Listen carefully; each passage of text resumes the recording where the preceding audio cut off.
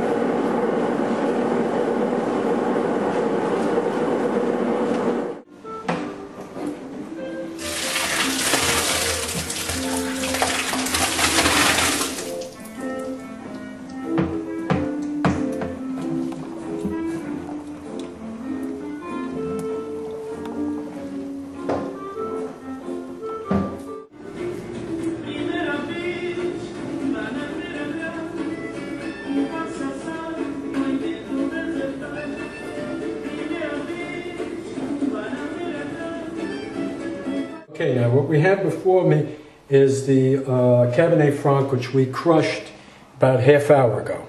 We finished crushing it. What I'm going to do now is take a sample of this and put it in this beaker, and we're going to test specific gravity. Why do we do that? Specific gravity will tell us what the sugar content is, and tell us what the potential alcohol is, which is all important. So let me do that now. This takes a little bit of time. Now we'll we'll take a measurement to see what we have here. Okay, and we'll give it a little spin first. Okay.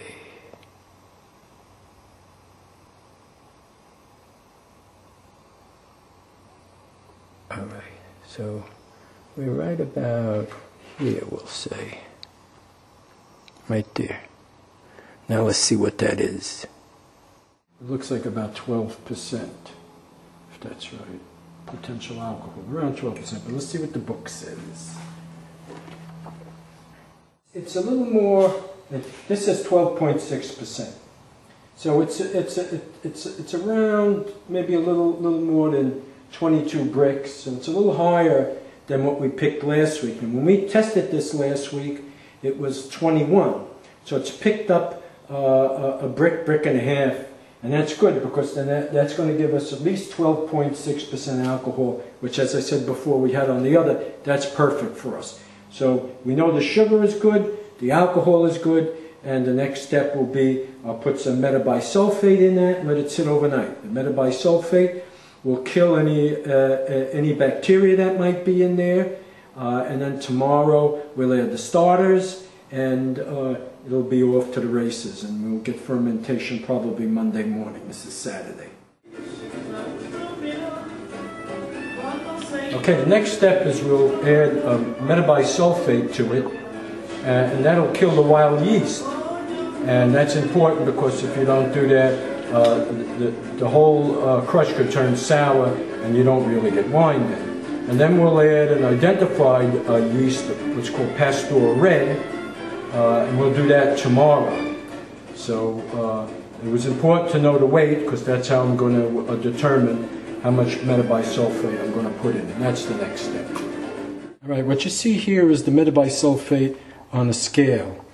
Uh, and what we're going to do now is to uh, put the metabisulfate into uh, the crushed grapes and juice. And the reason for that is, is we want to uh, kill or at least stun uh, wild yeast and any bacteria that might be in, uh, in the grape must.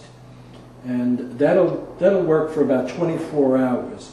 And then uh, I can uh, put in my own yeast, which will be a Pasteur red yeast, which is what I always use. And I'll put that in tomorrow, and then we'll have a clean fermentation. So right now, what I'm going to do is take the metabisulfate, put it in this glass of water. The water's warm water. We're going to let it dissolve. Okay, now we're going to pour the dissolved metabisulfate into the grape must. And th- this is where it gets a little hairy. You pour it in like this, and then you take your hand, plunge it in, and mix it up. That's better than your feet. Well, that's true. I mean, they don't use feet anymore. Well, they may. I don't know. And you can you can smell it a little bit, the metabisulfate coming up. Okay, this is good. Now this is going to sit overnight.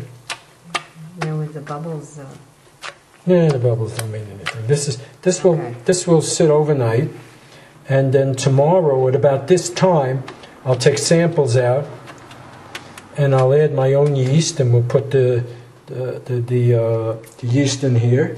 And by the next day, this will be fermenting. The cap will come up just like it did on the other uh, on the Merlot. So there we are. We're all set. We can put this guy to bed for tonight. What we have here is the Merlot, which we picked last week. And to that, uh, I added starter, and uh, it started to ferment this past Monday. And what you're looking at is the cap. The French call it a, cha- a chapeau, which means hat or cap.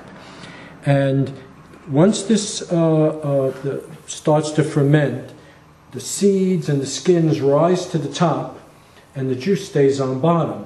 And it gets very hot. And what you do is you punch the cap down, you push it down back underneath the uh, uh, uh, juice, and it keeps the cap or the, the skins and the pits moist. And that's important because if you don't do that, uh, th- they could dry out and start to uh, go bad, and you could wind up with vinegar instead of wine. I want to uh, point out a couple of things. We keep a thermometer in here, and what you want to do is keep the cap uh, and, and the whole fermentation in the 80s. You don't really, you know, it could spike at 90, but you really don't want it any higher than that because then you'll get sort of a cooked flavor to your wine. Uh, when we tested this initially after we picked it, we found it was uh, 22 Brix, uh, and we uh, checked it out, and it will come out to a potential uh, alcohol of 12.6, which is exactly what we're looking for. We don't really want to go much higher than 13, so 12.6 is pretty good. If we can get that, we'll be very happy. Punch down the cap, and what I'm going to use is a paddle I made in 1983. Uh, and it's worked all along. If you come close, you can see how we do it. I start from the end and I push down, and you can see the juice underneath. And what we're trying to do is aerate the cap. Get some juice up in the cap, keep the cap moist. You can see all that bubbling up. And that also cools off the cap. And we'll do this a couple of times a day. Usually, uh, if I'm trying to really get a lot of color out of it, I'll do it three times a day. Or if it's if it's very warm, and this was very warm this week, so I came in and I punched it down three times a day. Sometimes we'll we'll do it and only do it two times a day. And so I do this. Okay, now the cap is getting aerated. And a couple of minutes it'll pop up again, but it's it's kept moist and all the skins will stay moist. And also when you do this, you'll help the color, because remember, color is in the skins, not in the pulp. It helps the, the wine take on a nice deep color.